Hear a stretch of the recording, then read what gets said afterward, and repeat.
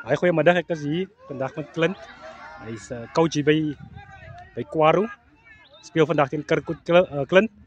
Sê vir my gou man, ehm um, eerste maal wat jy teen Kirkwood speel in Kirkwood per jaar. vir die jaar. Dis is die eerste keer vir die, ons eerste wedstryd vir vir hierdie seisoen in Kirkwood. Voorbereiding vir julle vir die Grand Challenge. Wat is julle uh voor voornemste vir die Grand vir die Grand Challenge? Ons ons ons voornemste vir hierdie jaar is is om in die top 5 te eindig om met lees 'n kans te kry om Super Rugby te speel. So dit vandag is ons eerste wedstryd wat ons gaan gaan speel en is van dit een een game op tyd. Man in jou groep wat jou moontlike opdraand kan gee. Maar in ons groep soos manne soos Jeffrey's Bay. Hulle is een van die spanne wat ons opdraand kan kan kan gee dan het ons NNMU ook die in die, in die universiteit.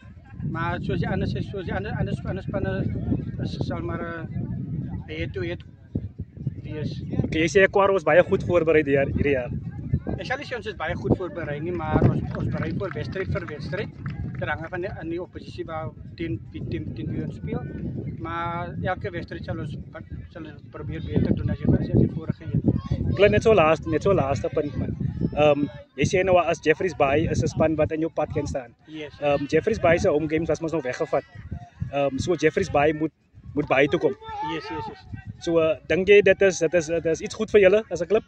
Omdat hulle omdat hulle hulle hulle tuis games weggeneem is hier is, dan dan sal dit goed wees ons want ons kan nou weer daai daai home advantage.